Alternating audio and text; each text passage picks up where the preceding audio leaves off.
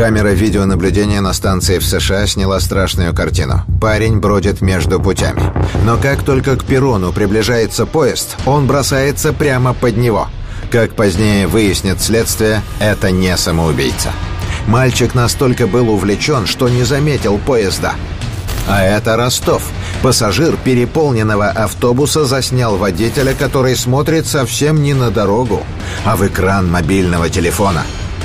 А это уже Сызрань. Подросток внезапно срывается с места и перебегает дорогу, как видно на красный свет. Что случилось с этими людьми? Что такого показывает телефон, ради чего они рискуют жизнью? Таких шокирующих происшествий уже много по всему миру. Миллионы людей играют в новую модную игру с дополненной реальностью. Они ловят покемонов, а эксперты бьют тревогу. Потому что эта игра создана по заказу ЦРУ. Энди Гринберг ехал на внедорожнике по шоссе в штате Миссури со скоростью 110 км в час. Вдруг на полную мощность заработал кондиционер. Затем включилась магнитола и загорелся экран бортового компьютера. Но вместо данных на нем появилось изображение двух незнакомцев, а голос из динамиков сообщил, что контроль над машиной перехвачен двумя хакерами. Злая шутка продолжалась. На стекло полился омыватель. Неистово заработали дворники. И тут отказала педаль газа. Машина, которая двигалась в быстром потоке по скоростному шоссе, резко стала замедляться. Водитель ничего не мог с этим поделать. На самом деле это был журналистский эксперимент Энди Гринберга, а два хакера — специалисты по компьютерной безопасности — Чарли Миллер и Крис Волосек. Они провернули все это, сидя на диване в 15 километрах от самой машины.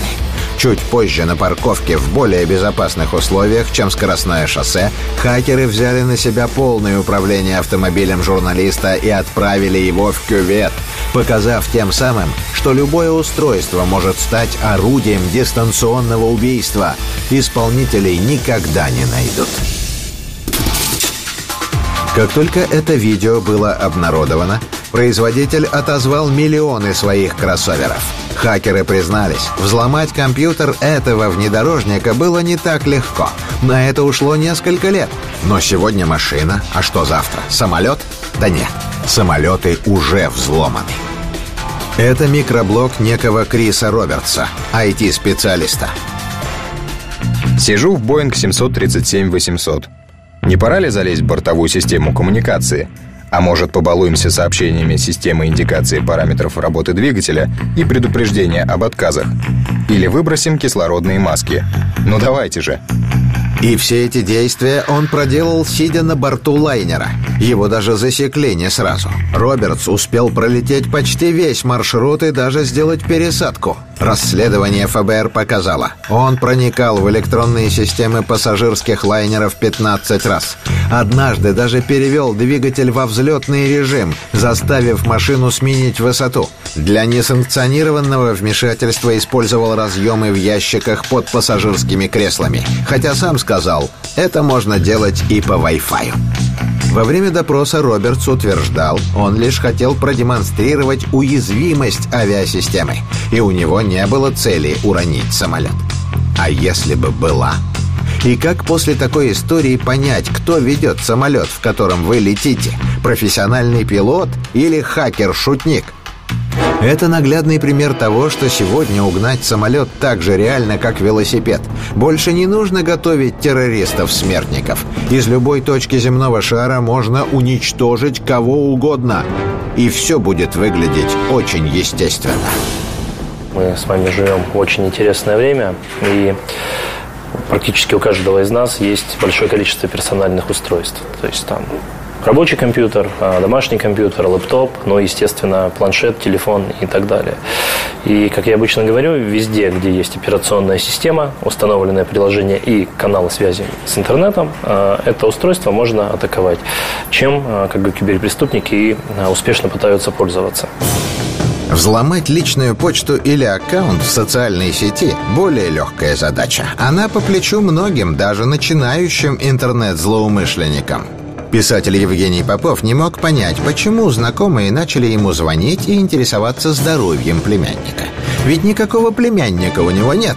Но как же так? Возмущались звонившие. Ведь Попов сам со своей страницы в социальной сети разослал письма друзьям и подписчикам с просьбой о помощи художественное содержание. Дорогие там друзья, никогда вот не обращался, всегда все. Но сейчас так приперло, что вот племяш мой попал под машину, ему там что-то делают операцию.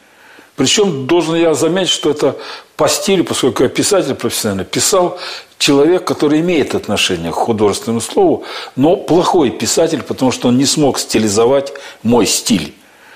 То есть чуть-чуть похоже, но, например, слово «племяш» я никогда не, не употреблял и не употребляю и не буду употреблять. Евгений Попов догадался.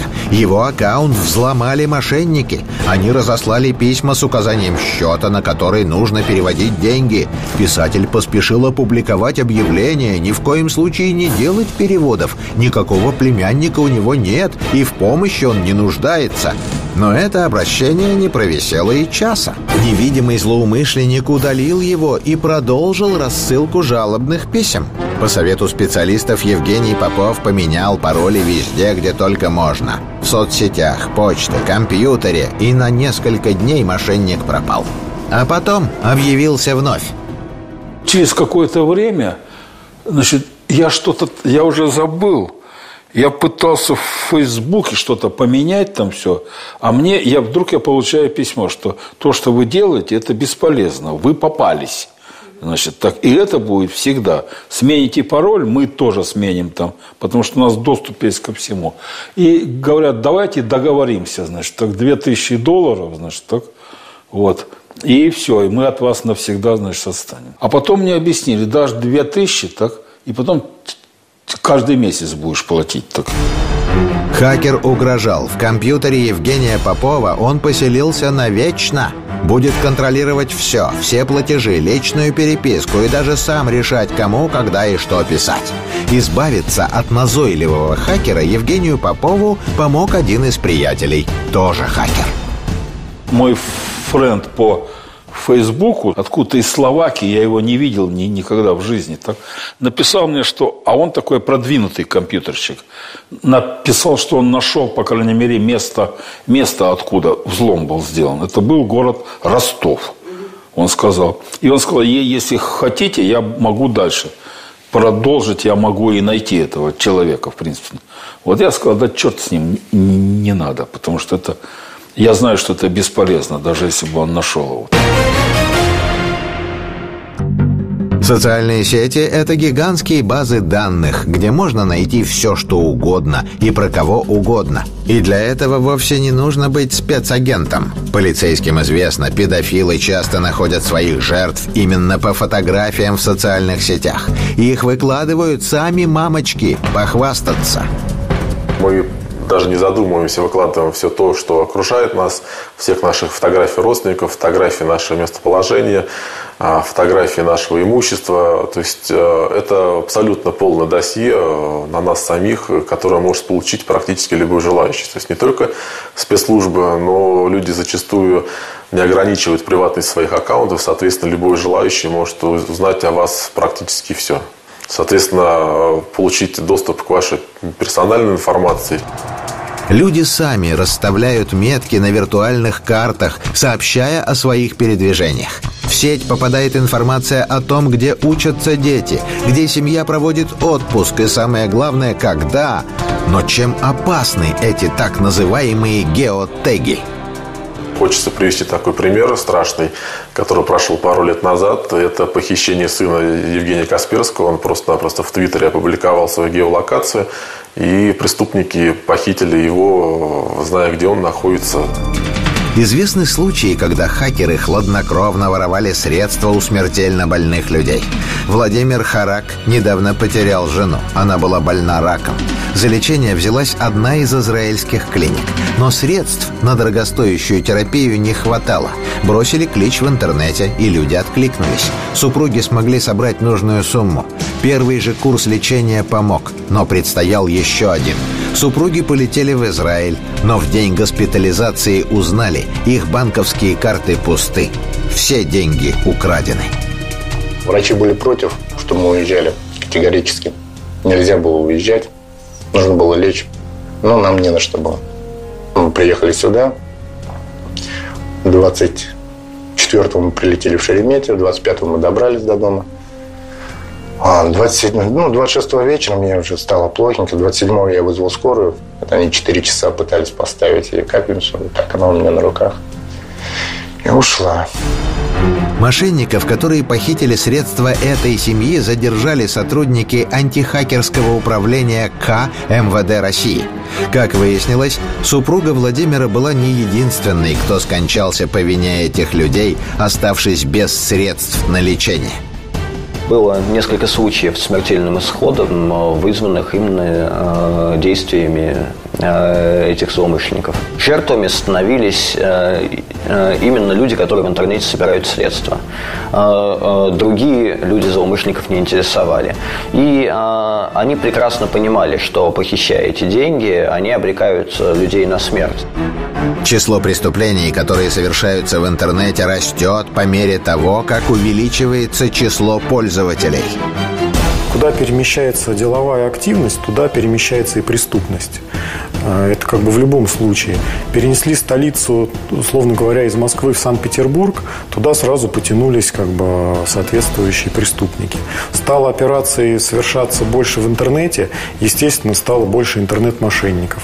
Сейчас э, уже инкассаторские машины никто не грабит, это рискованно и дорого и сложно, а гораздо проще взломать банк, и можно и гораздо больше денег оттуда выкачать, и еще не факт, что потом поймают. Чаще всего страдает банковская система. Лакомый кусок для киберпреступников, счета и карты пользователей. Банковская система России потеряла 600 миллионов рублей с начала года на том, что сотрудники банков открывали письма, которые, как им казалось, рассылал Финцерт, то есть финансовый регулятор, который следит за тем, чтобы банки не атаковали. Вот, то есть хакеры подменили отправителя. Банкам казалось, что пришло письмо от Финцерта. Вот они его открывали и, соответственно, заражали сервера и компьютер работников банков. Это кадры оперативной съемки задержания крупной преступной группировки, которая похищала деньги с банковских счетов. Уловом стали сотни миллионов рублей. Били по всем банкам без разбору. И вот удивительный момент. В группировке, не считая главарей, состояли сотни людей, которые никогда в жизни не встречались и даже не видели друг друга.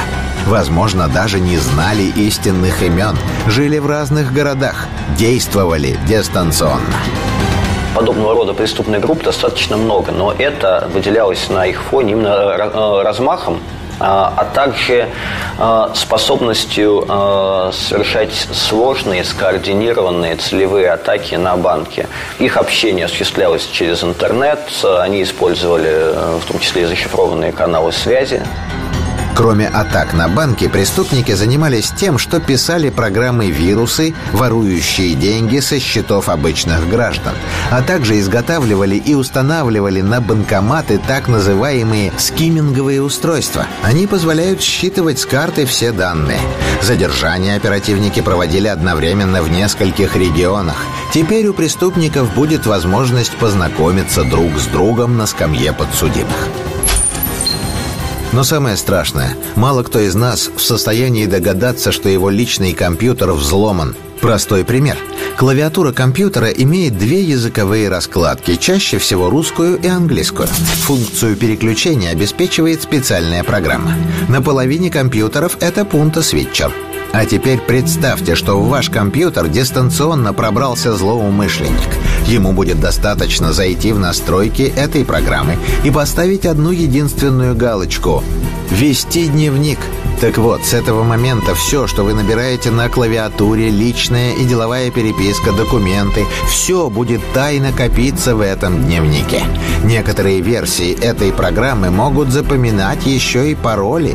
Тот, кто откроет этот дневник, будет в курсе всех ваших дел. И, собрав нужную информацию, удалит дневник. И вы даже не узнаете, что за вами следили. Автор этого видео Андрей Масолович – известный эксперт в области интернет-разведки и информационной безопасности. Он знает, как найти любые сведения о любом человеке. Ничего противозаконного, только открытые, незащищенные данные, гуляющие по сети интернет. И кому, как не ему, знать, как защититься от подобного рода слежки. Андрей Масолович говорит, зачастую хакерам даже не нужно особенно стараться. В интернете есть все. Пароли от личных почтовых ящиков, страниц в социальных сетях, даже копии документов. Люди все выкладывают сами. К примеру, социальная сеть ВКонтакте позволяет проводить поиск по документам, которые выкладывают пользователи. В строке набираем «сканы паспортов». И вот результат. Вот нахожу. Сколько? 30 свежих сканов паспортов, документов других людей. Точно так же пенсионное удостоверение, точно так же страховые свидетельства, э, свидетельства собственности и так далее, и так далее. То есть зависит только от моей фантазии, сколько, сколько из чьих документов я здесь могу наловить. Администрация сайта уверяет, доступ таким образом можно получить только к тем файлам, которые сам человек открыл для всеобщего просмотра.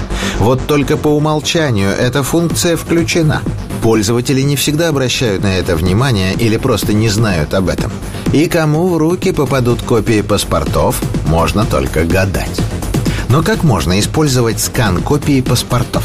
Например, человек идет в салон связи и говорит, что хочет купить в подарок смартфон, конечно, с сим-картой.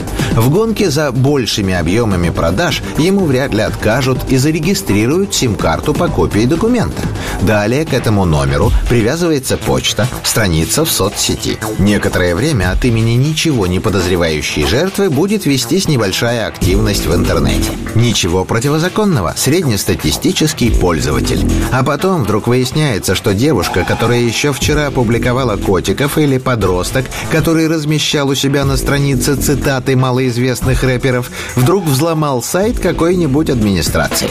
Хакерам нужен ложный аккаунт. Именно за ним они прячутся. Взломать сайт любой госструктуры и даже Пентагона – это не сюжет из боевика, а реальность. А вот портал региональной администрации Караганды, Казахстан. Ну, вот золотой край. Уран, титан, земли, недвижимость. Вот. Вот я в гугле набрал команду, а нет ли где-нибудь, нет ли где-нибудь на территории Казахстана excel файлов про вот этот ресурс. Вот файлов, табличек в формате Excel. Есть такие файлы, давайте посмотрим. Смотрите. Вот открылась таблица всех департаментов всех департаментов краевой администрации с логинами и паролями. Департамент внутренних дел, департамент внутренней политики, здравоохранения, казначейства, образования, сельского хозяйства, финансов, архивов, документации, градостроительства.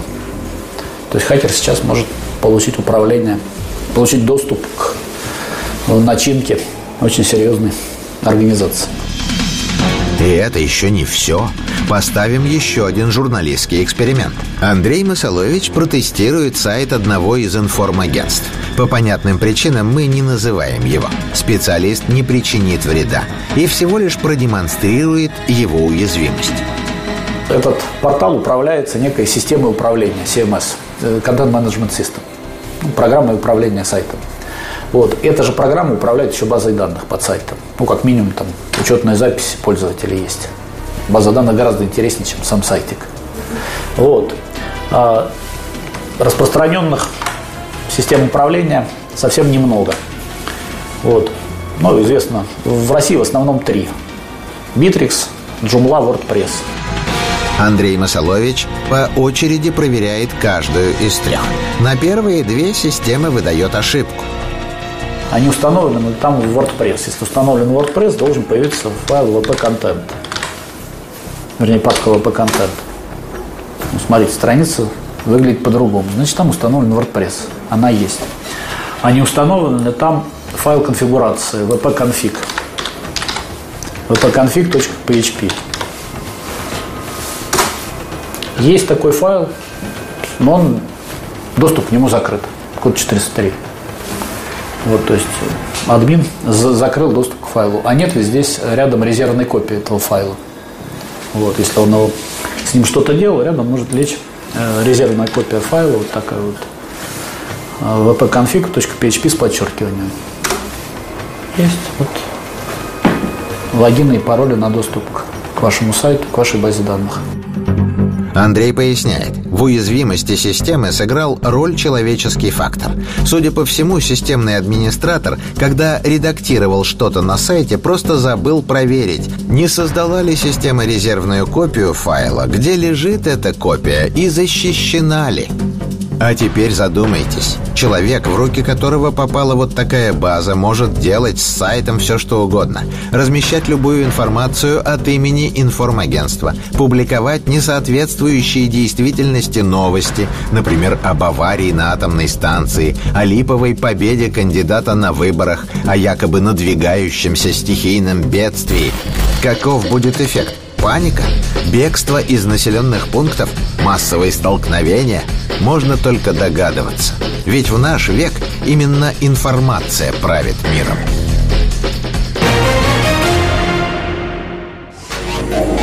Современные телефоны, смартфоны даже не надо взламывать.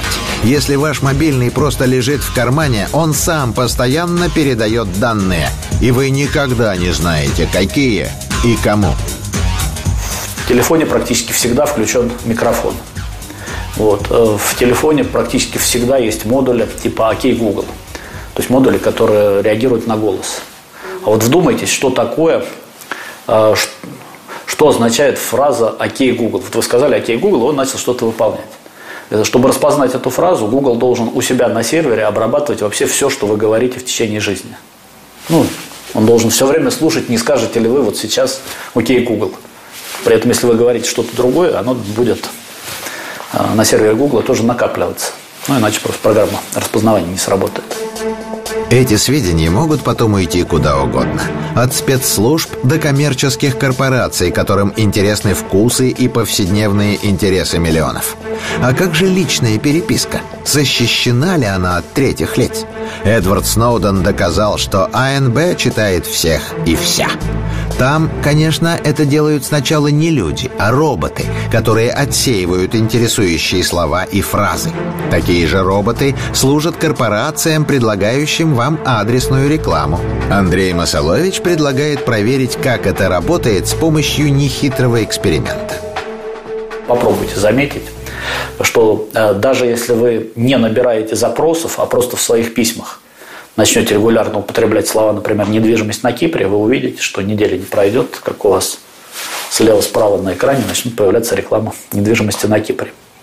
Даже был случай, когда один юрист из России судился с Гуглом, а, по-моему, 50 э, тысяч рублей выиграл вот по суду, что никто не имеет права читать мою переписку, даже роботы, даже роботы Гугла.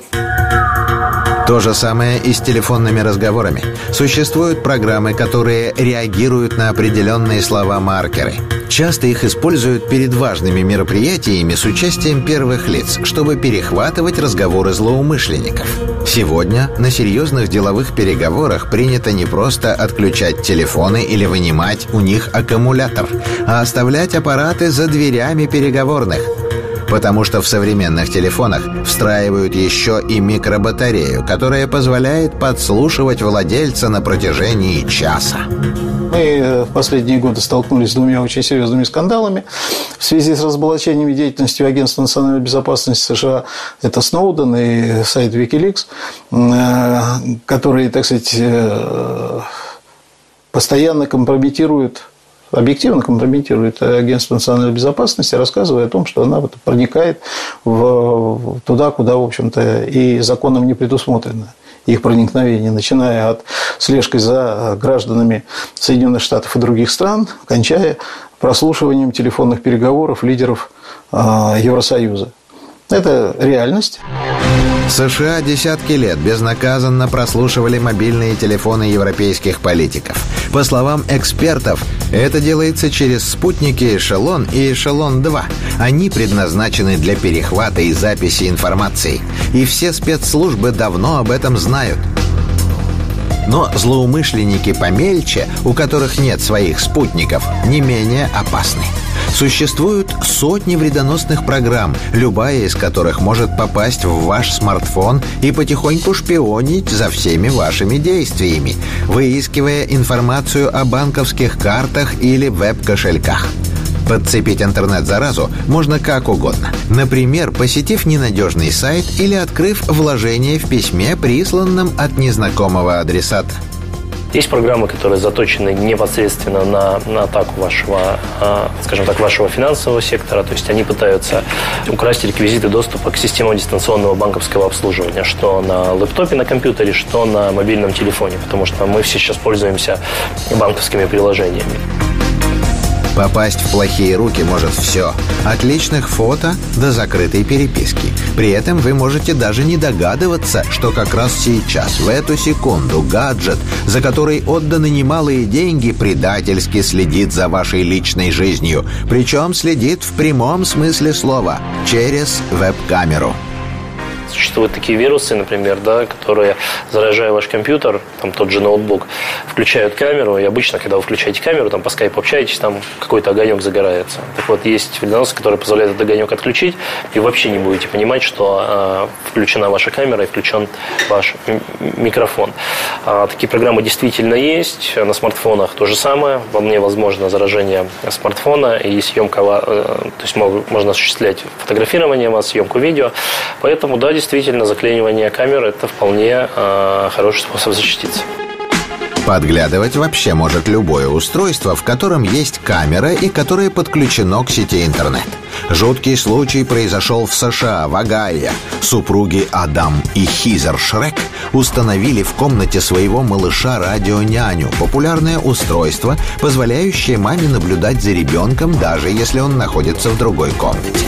Сын часто жаловался, что ночами его кто-то будет и пугает. Родители не верили, думали, мальчик фантазирует. Пока однажды случайно не стали свидетелями того, что их просто шокировало. Неожиданно радионяня включилась, и мужской голос сначала тихо позвал «Проснись, малыш». А когда ребенок открыл глаза, из устройства стали доноситься крики, угрозы, оскорбления. Потом камера сама стала вертеться, осматривая комнату, и, увидев родителей малыша, обрушила угрозы и оскорбления на них.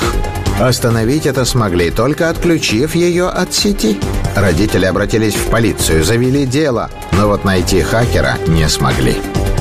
Если на такое способна радионяня, представьте, что умеет система «Умный дом». Это когда все приборы в жилье подключены к интернету и взаимодействуют друг с другом. Например, техника на кухне знает, что проснулся хозяин, так как только что он встал с постели и вышел из спальни. Его заметила камера в коридоре. И когда к обычному времени он войдет на кухню, его утренний кофе будет готов система умного дома, она соединена с сетью интернет, то есть есть возможность каким-то образом к ней подключиться, в том числе и вами, да, для контроля вашего умного дома, для управления.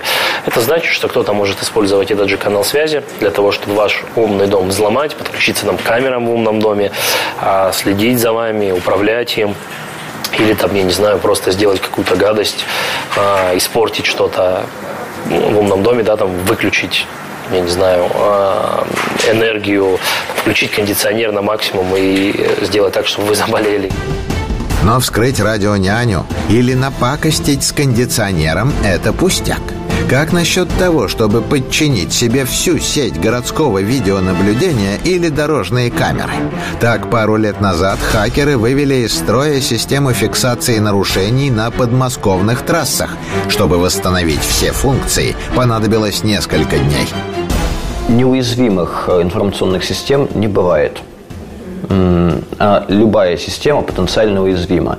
Если вас всерьез э, решат взломать, вас взломают. Существует э, укоренившееся, но, к сожалению, ошибочное мнение, что можно построить систему информационной безопасности, как следует ее отладить, внедрить компании и забыть об этом, жить как за каменной стеной. К сожалению, такого не бывает. И любая система информационной безопасности должна постоянно совершенствоваться. И все-таки есть ли способ узнать, что за вами следят?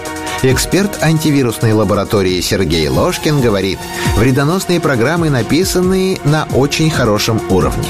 Таким шпионажем занимаются настоящие профессионалы. Простому пользователю понять, что за ним следят, практически невозможно. На телефоне не загорится никакого предупреждения. Он будет работать в привычном режиме. Единственное, что э, телефон может начать э, э, батарею расходовать гораздо более плюс э, расходовать интернет-трафик, да, то есть у вас там есть, например, определенный тариф, по которому вы интернетом пользуетесь, у вас этот тариф очень может быстро уйти, например, потому что если кто-то шпионит с вами через камеру или записывает микрофон, то он будет использовать сеть интернет для получения этих данных, и ваш трафик кончится очень быстро, но и батарейка сядет. Это, наверное, единственный способ, как это реально возможно распознать. Как показала практика, можно еще эффективнее следить за людьми и событиями, если направить человека куда нужно –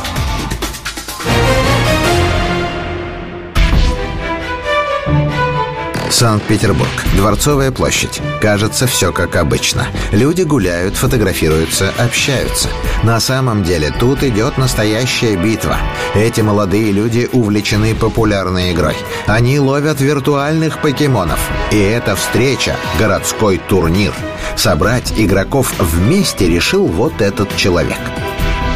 Мне просто было интересно, кто же самый сильный э, игрок, тренер в, Петербурге, и поэтому вот хотелось организовать и посмотреть, кто же все-таки выиграет, кто станет первым, вот, и вот поэтому.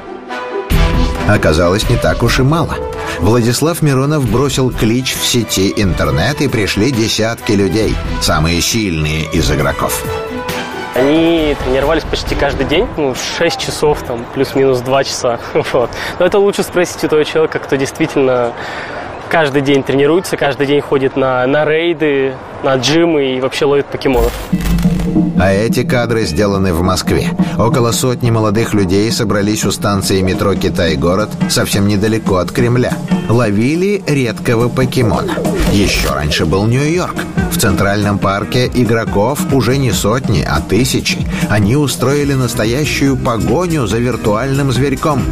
Некоторые ради этого даже приехали из других стран. Сейчас обкатываться э, через такие игры, технологии воздействия, массовое воздействие на массу людей, на их сознание, на манипулирование передвижениями людей, вот, влияние на их подсознание. И через некоторое время эти технологии, я так думаю, уже внедрят, э, может быть, и разведывательных каких-то целях. В чем смысл игры? Покемоны или карманные монстры – это герои популярного японского мультфильма. Разработчики приложения предлагают собрать полную коллекцию этих зверьков. Участникам необходимо искать их на карте города и ловить. Для этого нужен любой телефон, в котором есть интернет и камера. Игра устроена по принципу дополненной реальности. Обычный дом, сквер или улица, но стоит навести телефон, и на экране вот он – покемон. Почему же простая на первый взгляд игра свела с ума мир? Сами покемоны, вы поймите, а, это же, по сути, некие такие магические амулеты. То есть, вот хочет человек иметь определенную способность, которую он никогда бы не смог обладать и развить себе а, в реальной жизни, да, ну, какие-нибудь там вот гипно-покемоны, так называемые, которые могут психически воздействовать а, на других покемонов, человек будет их коллекционировать, собирать, и его мозг будет ему говорить, что смотри, как классно, ты этого хотел, ты хотел получить эту способность, да, и ты ее реально получил, все все, что тебе нужно, это собрать просто весь набор покемонов, которые обладают этим, именно этим талантом, именно этой способностью, прокачать этих покемонов. И тогда, конечно, ты достигнешь успеха и почувствуешь, что ты вот, это действительно ты. Казалось бы, ну подумаешь, очередное новомодное увлечение. Наиграются и забудут. Но разработчиков игры вдруг открыто стали обвинять в связях с ЦРУ. На рынок игру выпустила компания Niantic. Шесть лет назад она была одним из внутренних проектов Google, но позже была выведена из состава гиганта. Возглавляет Niantic Джон Ханке. Его личность особенно интересна. Имя Джона Ханке связано с компанией под названием K-Hole. Это с нее когда-то начинался Google. Тогда проект запускали на деньги венчурного фонда InQtel. Это финансовая структура ЦРУ. И разработку новой игры тоже финансировал этот фонд. Это, кстати, открытые данные. Их можно найти в интернете. Во-вторых, надо иметь в виду, что производители игр не очень часто редко идут на контакты со специальными службами, выполняя их заказы. Потому что будет заказ специальной службы, будет утечка, будет, соответственно, подрыв деловой репутации самой компании, ну и, как следствие, снижение доходов. Поэтому, конечно, теоретически мы можем предположить, что эту игру можно использовать для получения какой-либо информации. Но зачем ЦРУ понадобилось вкладываться в новое развлечение? И почему в новом, на первый взгляд, невинном развлечении с покемонами многие усмотрели едва ли не государственную угрозу? Я думаю, что нам всем без разницы, что ЦРУ там за нами следит. Да? А, но а, Другой вопрос, что вот эта вот игра, она добавляет некую как бы опасность в плане вот национальной безопасности. Разработчики игры даже не скрывают, что будут передавать данные кому надо. В пользовательском соглашении при установке игры прямо сказано «Мы сотрудничаем с государственными структурами и частными компаниями. Мы можем раскрыть перед ними любую информацию о вас или вашем ребенке». А есть еще пункт 6. Наша программа не имеет возможности выполнять запрос вашего браузера «Не следи за мной». То есть разработчики открыто признаются, вы всегда под колпаком. Но будем откровенными, многие ли читают эти длинные правила перед установкой какой-то новой программы? Я думаю, что через рядовых граждан ЦРУ может получить больше информации, чем от э, компетентных людей. Именно через рядовых и посредством рядовых людей. Какую именно информацию обычные люди могут дать спецслужбам? Ловля покемонов, по мнению экспертов, позволяет заглянуть куда угодно. Она дает возможность глазами игрока видеть все, что его окружает. Потому что а, когда пользователи, просто люди ходят с включенными камерами, с включенными смартфонами. Эта информация, соответственно, тоже может передаваться куда-то за границу. Все, что видит камера смартфона в тот же момент, когда игрок ищет покемона, тут же передается на сервер компании-разработчика. Конечно, большая часть этой информации мусор, но из огромного количества геймеров можно выбрать тех, которые наиболее подойдут для слежки – Невольным шпионом может стать кто угодно. Студент, который ежедневно ходит по интересующему маршруту, домохозяйка, посещающая один и тот же магазин, разносчик пиццы, любой, у кого есть смартфон и кто увлечен ловлей покемонов. Можно отслеживать передвижение каких-то грузов, э, которые предназначены э, для обороны государства, э, каких-то подразделений, каких-то политиков, э, первых лиц государства, ответственных за безопасность, различные передвижения спецслужб и так далее. То есть э, это вообще не сложно на самом деле. Э, то, что чтобы изучить маршрут передвижения неких лиц, используя алгоритмы, эту программу можно течение определенного отрезка времени э, практически круглосуточно иметь э, данные о структуре передвижения, времени, э, обеспечения, охраны каких-то объектов.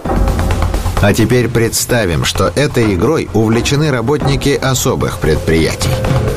И они могут ходить при этом не просто по улицам, а по каким-то режимным объектам, по каким-то закрытым территориям, куда просто так вот э, не попадешь ну, постороннему человеку.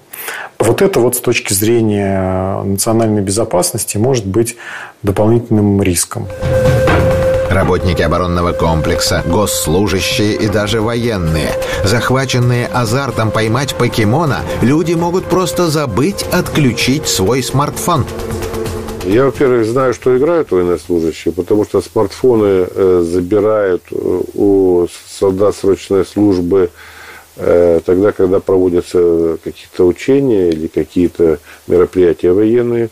А так солдаты имеют доступ и, и, и возможности пользоваться смартфонами.